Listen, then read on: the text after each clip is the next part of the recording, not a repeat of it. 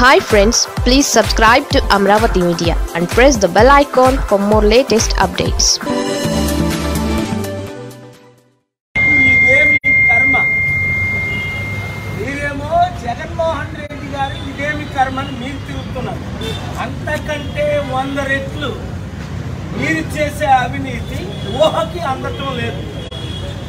అందుకూరులో meeting పెట్టినప్పుడే నేను మీకు వార్నింగ్ ఇచ్చాను. వెయ్యి రెండు వందల మందికి వెయ్యి రెండు వేల మంది పర్మిషన్ తీసుకొని అక్కడేమో నలభై యాభై వేల మందికి వంద రూపాయలు బిర్యానీ రెండు వందల రూపాయలు ఖర్చులు గిఫ్ట్లు అని చెప్పి మీటింగ్ పెట్టాం. నీకు చిత్తశుద్ధి ఉందా ఇరవై రెండు సార్లు నీ నెత్తి మీద చెయ్యేసి నువ్వు మారాలని ఇరవై ఐదు సంవత్సరాలు ప్రార్థించా. నువ్వు వచ్చిన ప్రతి మీటింగ్లో ఒక్క పర్సెంట్ అయినా నువ్వు మారేవా? చంద్రబాబు నాయుడు. సిగ్గు లేదా? శవ రాజకీయాలు చేస్తున్నావు. కందుకూరులో ఎనిమిది మందిని పొట్టలు పెట్టుకున్నా యాభై వేలు లక్ష పది లక్షలు. మా విలువ యాభై వేలు లక్ష పది లక్షల. వెంటనే నేను హైకోర్టుకి వెళ్ళా. ఇగో ఈరోజు వాటి టేకప్ చేస్తా. డీజీపీ ఆఫీస్కి వెళ్ళాను. ఆ రాజేంద్ర రెడ్డో ఏ రెడ్డో ఆయన పేరు? ఆయనకేనా బుద్ధి బుర్ర ఉండద్దా? పర్మిషన్లు క్యాన్సిల్ చేయమని అడిగా. ఏమండో డీజీపీ గారు? ఒక్కసారి వచ్చి చూడండి ఈ గుంటూరు గవర్నమెంట్ హాస్పిటల్కి.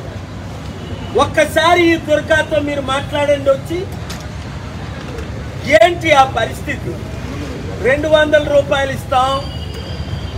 బియ్యం పప్పులు రెండు వందల రూపాయలు ఇస్తాం. చంద్రన్న కానుకలాట. చంద్రబాబు నాయుడు నువ్వు ఆరు లక్షల కోట్లు దోచుకున్నావని ఆయన బుక్కే రాశారు మీ అపోనెంట్. రెండు కోట్ల కుటుంబాలకి నిజంగా నీకు చెప్తుంటే సిద్ధుంటే మూడేసి లక్షల రూపాయలు డైరెక్ట్గా ఐదు లక్షల కోట్లు నేనెలాగైతే లక్షల మంది అనాథులకు వితంతువులకు కుడి చేతితో ఇచ్చింది ఎడం చేతికి తెలియకుండా పంచేనని నువ్వు ఎమ్మెల్యేగా ఉన్నప్పుడు మాట్లాడావు? రాజశేఖర రెడ్డి ఎమ్మెల్యేగా ఉన్నప్పుడు మాట్లాడాడు. నువ్వు ఇచ్చింది రెండు వందల రూపాయలు.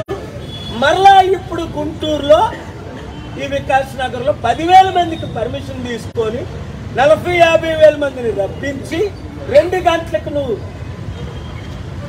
చంద్రన్న అబ్బా! నీ ఎందుకయ్యా నువ్వు ముసలోడివి? నీకెందుకు రాజకీయం?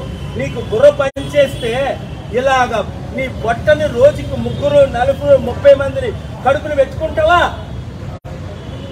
మరి ఆ సీఎం ఏం చేస్తున్నా? జగన్మోహన్ రెడ్డి నీకు అంత భయం ఉందా? రిజైన్ చేసి పడే. నేను నడిపించి చూపిస్తా. మీరిద్దరూ చేసిన అప్పులు తీర్చుతా. అభివృద్ధి చేస్తా. నువ్వు చిన్నప్పటి నుంచి చూస్తున్నావు కదా జగన్మోహన్ రెడ్డి. ఆయన మీటింగులు నువ్వు క్యాన్సిల్ చేయొద్దా? మీ డీజీపీ క్యాన్సిల్ చేయొద్దా? ఈ చట్ట విరుద్ధమైన మీటింగులు కావా? అక్టోబర్ రెండు ఆనరబుల్ హైకోర్టు తెలంగాణ జిమ్ఖానా గ్రౌండ్స్లో నాకు గద్దరాన్నకి జేడి లక్ష్మీనారాయణ అందరికి రెండు వేల మందితోనే మీటింగ్ పెట్టమంటే మేము చట్టాన్ని గౌరవించాం. నా మీటింగ్ మూడు లక్షలు పది లక్షల మంది వస్తారు. ఇదే గుంటూరులో లక్షల మంది. కానీ ఎందుకు ప్రాణాలు తీయడం? ప్రజలారా మీకు బుద్ధి రావాలి. ఇప్పుడు దుర్గాకు వచ్చింది. ఇక్కడ నేను ఉన్న పేషెంట్లకు వచ్చింది పాపం. ఎందుకు? వాళ్ళకి పెన్షన్ రావట్లేదు. ఇప్పుడే దుర్గా చెప్పింది. వాళ్ళ అల్లుడు చెప్పాడు. మేనల్లుడు చెప్పాడు. రెండు వేల ఏడు వందలు ఇస్తానని జగన్మోహన్ రెడ్డి గారు ఎక్కడి నుంచి తెస్తా మహానుభావుడు చంద్రబాబు నాయుడు ఏం మాట్లాడతాడు? ఐదు లక్షల ఉద్యోగాలు ఇచ్చాను. నువ్వు ఎవడికి ఇచ్చావు ఉద్యోగాలు? తాగేసి మాట్లాడుతున్నావా? ఎవరికి ఇచ్చా ఉద్యోగాలు? ఆంధ్ర రాష్ట్రంలో కోటి మంది నిరుద్యోగులు ఉన్నారు.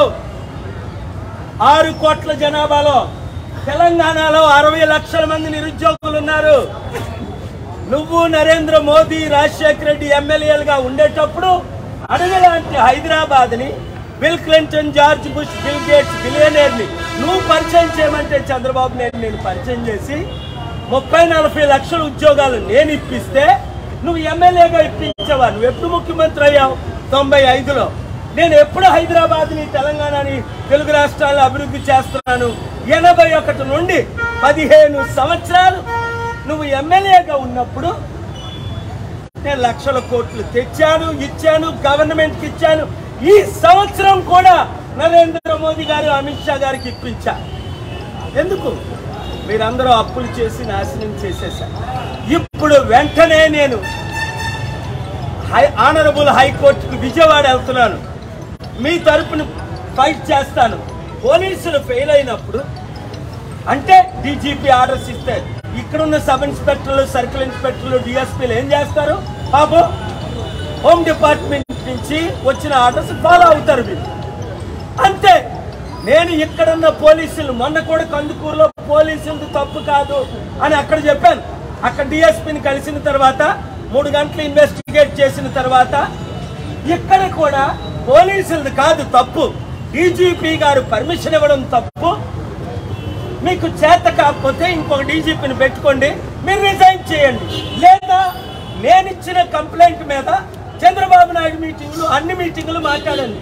మహానుభావుడు దత్తపుత్రుడేమయ్యాడు చంద్రబాబు నాయుడు దత్తపుత్రుడు తమ్ముడు పవన్ కళ్యాణ్ ఇన్ని జీవితాలు పోతుంటే నీకు ముఖ్యమంత్రి పదవి ఇస్తాడని చంద్రబాబు నాయుడు నువ్వు బీజేపీతో దేశద్రోహి అయిన నరేంద్ర మోదీతో రాష్ట్ర ద్రోహి అయిన నరేంద్ర మోదీతో రాష్ట్రానికి స్పెషల్ స్టేటస్ ప్యాకేజ్ ఇవ్వని నరేంద్ర మోదీతో నువ్వు చేతులు కలుపుతావా? ఛీ! ఆ సినిమాలు ఏదో చేసుకుంటున్నావు కదా చేసుకో! మా రాష్ట్రాలు తెలుగు రాష్ట్రాలని నాకు విడిచిపెట్టండి. తెలంగాణలో ఐదు లక్షల కోట్లు ఆంధ్రప్రదేశ్లో ఎనిమిది తొమ్మిది లక్షల కోట్లు అప్పు తీర్చి అభివృద్ధి చేసి కంపెనీలు పెట్టి కోట్ల ఉద్యోగాలు తీసుకొచ్చి మీ అందరూ మంచి చేశాను నలభై సంవత్సరాలు చేయగలను ఇచ్చాను ఇవ్వగలను చెప్పాను చేసి చూపించాను చేయగలను. నేను తప్ప ఈ దేశాన్ని కానీ రాష్ట్రాన్ని కానీ ఎవరు రక్షించు ఒక ప్రైవేట్ సిటిజన్గా ఐదు లక్షల కోట్లు. అందుకే కదా చంద్రబాబు నాయుడు గారు కేసీఆర్ గారు రాజశేఖర రెడ్డి అందరూ నన్ను పొగిడారు వచ్చి పాదపూజ చేశారు నరేంద్ర మోదీ గారు. ముఖ్యమంత్రిగా ఉన్నప్పుడు ఏంటి బాధ? నేను రాత్రి పన్నెండు గంటలకు ఉన్నాను. ఆరు గంటలకు విన్నాను పన్నెండు గంటలకు విన్నాను. ఒక నిమిషం పడుకోకుండా హైదరాబాద్లో రెండున్నరకు బయలుదేరి మరల వచ్చేసా. ఎందుకు? ఇంకా కోర్టు ద్వారా న్యాయం జరుగుతుంది. రాజకీయ నాయకులు ఫెయిల్ అయినప్పుడు డీజీపీ గారు ఫెయిల్ అయినప్పుడు హోమ్ మినిస్టర్ ఫెయిల్ అయినప్పుడు చీఫ్ మినిస్టర్ ఫెయిల్ అయినప్పుడు కేవలం స్పెషల్ కోర్టులో స్పెషల్ పర్మిషన్ ఇచ్చి ఇప్పుడున్న మీటింగ్లకి లిమిటెడ్ ముందు ఇన్వెస్టిగేట్ చేయాలి. చంద్రబాబు నాయుడు అమెరికాలో అయితే ఆయనకి కనీసం పదిహేను సంవత్సరాల జైలు శిక్ష పడతారు. ఆయన కందుకూరులో ఎనిమిది మందిని కడుపును పెట్టుకున్నందుకు బిలియన్స్ ఆఫ్ డాలర్స్ లాసూట్ అవుద్ది. ఏంటి ఈ దేశం? బుద్ధి ఉన్నవారు ఎవరు? తెలివితేటలు ఉన్నవారు ఎవరు? నీతి నిజాయితీ ఉన్నవారు ఎవరు? ముఖ్యంగా BC SC ST Muslim Christian minorities zero zero one three four six eight one two six five four సిక్స్కి వాట్సాప్ గ్రూపులు చేయండి. నేను మీ కొరకు వచ్చాను మీరు నాతో ఉంటే మీ కుటుంబం మీ మనవలు మీ గ్రాండ్ సన్స్ మొత్తం మీ గ్రామాలు బాగుపడతారు వీళ్ళు ఒక్కటైనా చేశారా? ఈ దొంగ మాటలు మీరు విని ఇంకా కొంతమంది పవన్ కళ్యాణ్ వస్తూ బాగుండదు రే నలభై సంవత్సరాల అనుభవం జగన్మోహన్ రెడ్డి చంద్రబాబు నాయుడు చేయనప్పుడు రాజశేఖర్ కేసీఆర్ గారు చేయలేనప్పుడు మోదీ గారు ఒక యాక్టర్ చేయగలరా ఆయనకి చిత్తశుద్ధి ఉంటే రమ్మను. నాకు నలభై ఒక్క సంవత్సరాల అనుభవం. ఎనభై ఒకటిలో నర్సీపట్లో పొలిటికల్ లీడర్గా ప్రెసిడెన్షియల్ అడ్వైజర్గా హ్యుమానిటేరియన్గా పీస్ మేకర్గా శాంతి దూతగా నూట యాభై ఐదు దేశాలు తిరిగి అనుభవం. ఉంది మరి నేను ఎందుకు వచ్చాను ఇప్పుడు రాజకీయాల్లోకి? వీళ్ళందరూ మిమ్మల్ని ముంచేశారు. నాశనం చేసేశారు. అప్పులు చేసేశారు. కుటుంబానికి ఐదు లక్షల ముఖ్యమంత్రులు చంద్రబాబు నాయుడు గారు ఐదు లక్షల కోట్ల అప్పు ఉన్న రాష్ట్రాన్ని జగన్మోహన్ రెడ్డి గారికి ఇచ్చారు. జగన్మోహన్ రెడ్డి గారు మూడున్నర లక్షల కోట్లు అప్పు చేశారు. ఈ మూడున్నర సంవత్సరాలు. ఇప్పుడు అప్పులు అడుక్కున్న మోదీకి అప్పిచ్చినోడు లేడు జగన్కి అప్పిచ్చినోడు లేడు కేసీఆర్కి అప్పిచ్చినోడు లేడు. మన బడుగు బలహీన వర్గాలు తినడానికి తిండి లేక కట్టుకోవడానికి బట్ట లేక ఐదు కేజీలు బియ్యానికి రెండు కేజీలు పప్పులకి ప్రాణాలతో ఆడుకుంటారా మీరు? మంచి రోజులు వచ్చాయి. మీరందరూ మీ పని చేయండి.